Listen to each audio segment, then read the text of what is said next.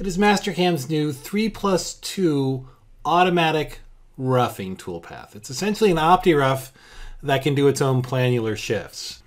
All right, uh, so I've got a part, I've got a stock model created. I'm going to turn off a couple of things, so I'm just back down to my basic part, although I don't need to, I'm just making it easy for me.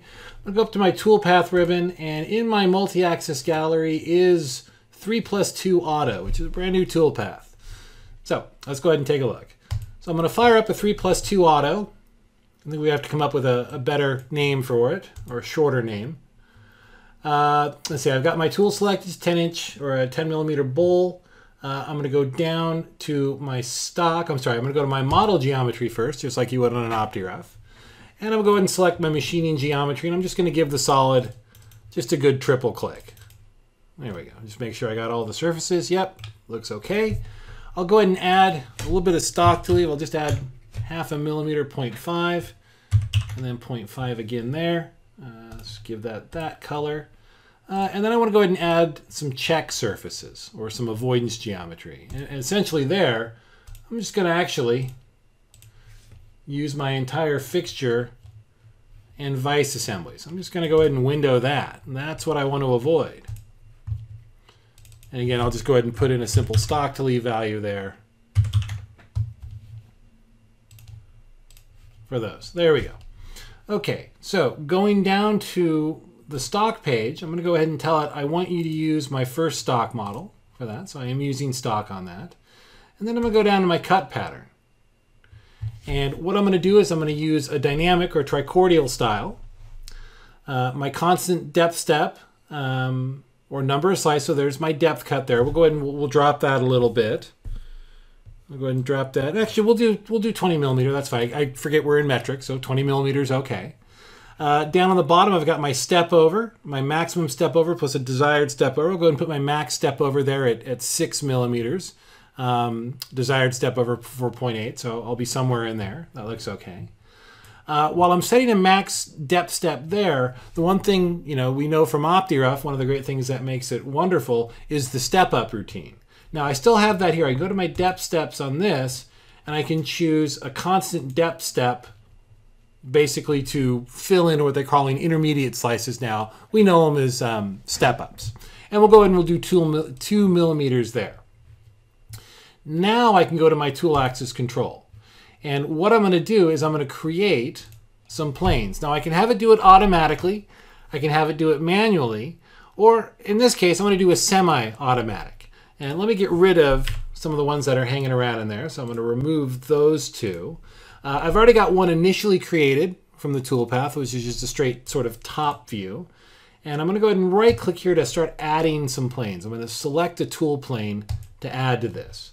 I get a pop-up window that allows me to use you know, uh, some of the basic planes. I can look at name planes, uh, or in this particular case, I'm going to look for a solid face. Now, I don't have my solid turned on, so I do need to turn my part back on. And I'm just going to go ahead and pick, say, this face here. And if you remember this little field, I can adjust the XY of that if I want to, but the number one is usually okay. So there's one plane listed. I'm going to right click again. I'm going to add a second tool plane, but this one I'm going to go ahead and add as a named plane or a listed plane because I've already created it. And there are my listed or named planes. I'm going to choose my undercut plane, just a plane I created for that. And we'll go ahead and add that in there as well. Now, below that, I've got a little field called the search angle increment.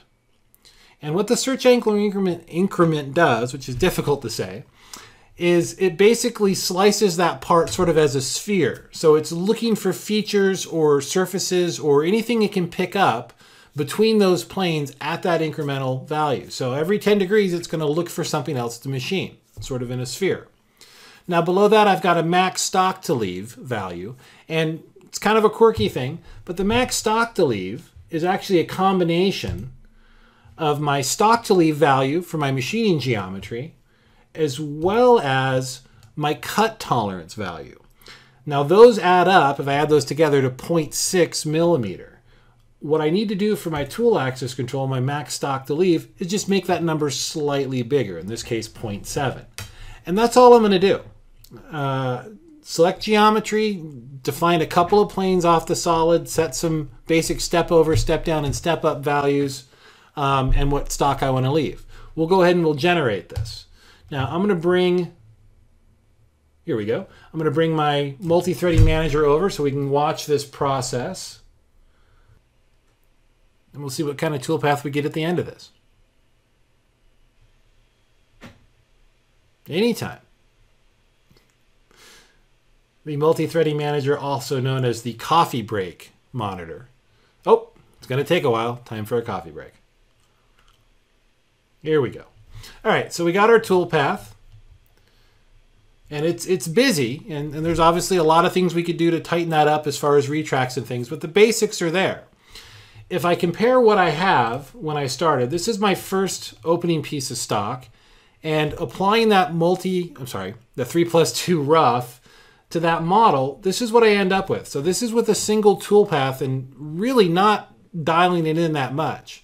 Um, you know, if I were to go back in and, and tighten things up, it, would be a little bit more efficient, might look a little nicer. But even just sort of just eyeballing it the first time through, um, that's what I get. And you know, using traditional methods um, to having to take an OptiRough and index it around, you know, I, I would still be working probably on the first one uh, at this point. So um, is it a very exciting new toolpath. And just kind of like OptiRough, I'm really interested to see where people are going to go with this.